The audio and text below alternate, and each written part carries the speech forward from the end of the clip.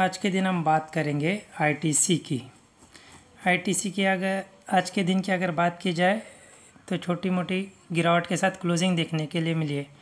लेकिन आज के दिन इस सपोर्ट को नीचे की ओर ब्रेकडाउन दिया है फोर फोर्टी के लेवल को, और इसके नीचे ही हमको क्लोजिंग देखने के लिए मिली है।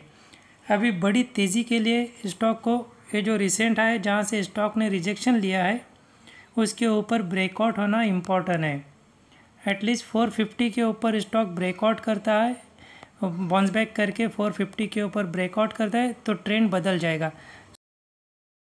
अगर आप डिमेट अकाउंट ओपन करना चाहते हो तो डिस्क्रिप्शन में दी गई लिंक से कर सकते हो। स्टॉक ने इससे पहले इसी लेवल पर सपोर्ट लिया छोटी मोटी रिकवरी दिखाई। अगेन रिटेस्ट करके 445 तक का जंप आया, लेकिन इस बाउंस बैक के साथ रिसेंट आई ब्रेकआउट नहीं कर पाया और नीचे की ओर ब्रेकडाउन दे दिया है। अभी यहाँ से और गिरावट दिखा सकता है। एटलीस्ट स्टॉक 450 के ऊपर ब्रेकआउट नहीं करता, तब तक गिरावट की संभावना बनी हुई है। हालाँकि ख़रीदारी की हुई तो पोजीशन को होल्ड करके चला जा सकता है। नीचे की ओर एवरेजिंग का प्लान कर सकते हो। अभी यहाँ से 420 तक की गिरावट हमको देखने के लिए मिल सकती है। 420 के लेवल से खेल पलटते नज़र आ सकता है।